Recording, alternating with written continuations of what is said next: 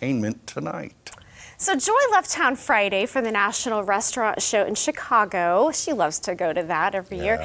And she spent the last four days searching for the latest in foods, flavor, and fun. Now, along the way, she ran into several people from Southwest Missouri, including the folks behind the largest pasture raised egg company in the country.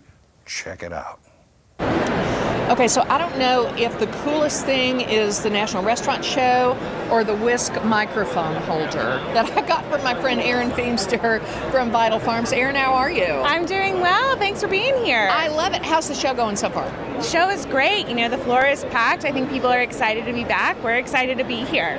Well, I know Vital Farms, I guess, was sort of born in Austin, Texas. We have a huge, huge operation in Springfield, Missouri, which we're very proud of. We do. We do. We were founded in Austin in 2007 by our founder Matt O'Hayer, and he wanted to give hens a better laying life. So we plopped them on a piece of pasture, giving them each 108 square feet of space, have access outside year round. Um, fast forward, he always wanted to build a sustainable business, and he really built a transformational one. Now we work with over 275 small family farmers in what we call the pasture belt, and heavy concentration in Missouri near the Springfield area. And each of our girls gets 108 square feet of space on pasture, and they have access year round. And then they get shipped to our processing facility in Springfield, Missouri, Egg Central Station, or ECS as we affectionately call it. Yeah, Egg Central Station. I just love it. All of these, and you've seen this on Ozarks Live before, all of these eggs are kept in the Springfield underground under temperature control. How many eggs are in there typically on a daily basis? Do you remember? Oh gosh, we process millions of eggs a day. Yeah. So we are shipping eggs all across the country, and we're in over 20,000 stores nationwide. So bringing eggs to the tables across the country. So no exact count, but you know. Oh, now here's let me run something past you that I didn't know until yesterday.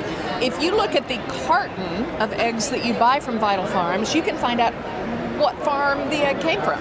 Yes, we are so proud of our traceability program. So each of the cartons is labeled with a farm of where those um, eggs came from. And then you can take that code to our website and see a 360 degree video of that farm. That's amazing. You can see where the chicken came from. I just love that. All right, so you're giving away samples today. You've got omelets going this morning. What Yes. has been the reaction of the crowd? You know, people love it. It's a nice, clean bite of protein, and so that's a little bit different from what you typically find on the floor here. Um, there's a lot of plant based here as well, so we kind of stand out and are differentiated from the crowd. Well, you guys do it great, and we're delighted to have you in Springfield, Missouri, and they're only growing.